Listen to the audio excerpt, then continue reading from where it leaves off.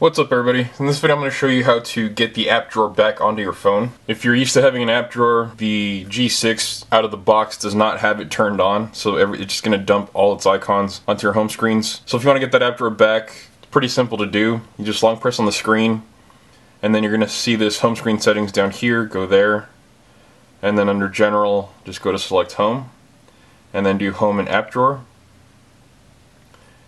we see the home screen is reloaded and now we have our app drawer that we can go to.